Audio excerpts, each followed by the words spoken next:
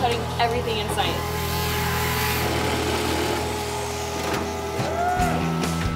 What are you doing? Well, Sabrina told us that Josh wanted some wider tires in it, and then he wanted a mini tub.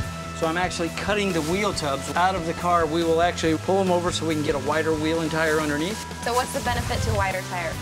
What cars do you see with wide tires on them? Not a whole lot. Performance. You got more traction, and it just looks cool. Okay. All right, Chip hasn't gone crazy. He has things under control. And Josh, your 63 Nova is gonna be all about performance.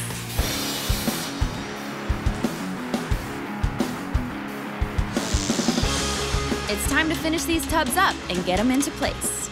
Once this is all TIG welded and grinded, you won't even know that we actually tubbed it.